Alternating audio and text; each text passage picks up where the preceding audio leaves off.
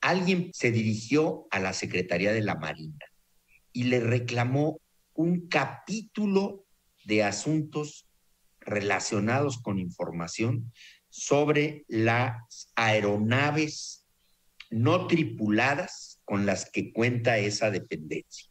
Y sobre ellas pidió desde el origen de las especies todo cuanto hubiese sobre ellas. La Marina, la CEMAR, como suele ser en muchos de estos casos, contestó contundente, lo que pides, pues te puedo dar una pequeña parte, muy desmenuzada, muy aleatoria, pero el corazón del asunto, que tiene que ver con los contratos y que tiene que ver con las adquisiciones propiamente y las características de estas aeronaves, de esas le dijo no te doy nada. Esa persona simplemente se vino ante nosotros a reclamar la parte en la que la CEMAR le dijo que la información estaba clasificada.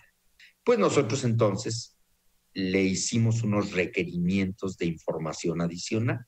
Eh, el INAI tiene manera, como órgano garante, y los de los estados igual, de hacerle una serie de diligencias. Podemos citar personas, podemos convocarlos a reuniones y en este caso, a ver, tráeme información adicional.